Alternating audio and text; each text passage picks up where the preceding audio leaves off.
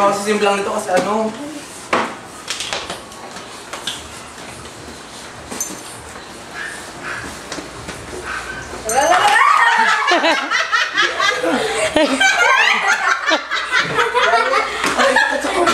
Hoy, ang isda! Jackie Boy! Hoy, ang banga! Alam ko yan, matutulad ka ng kay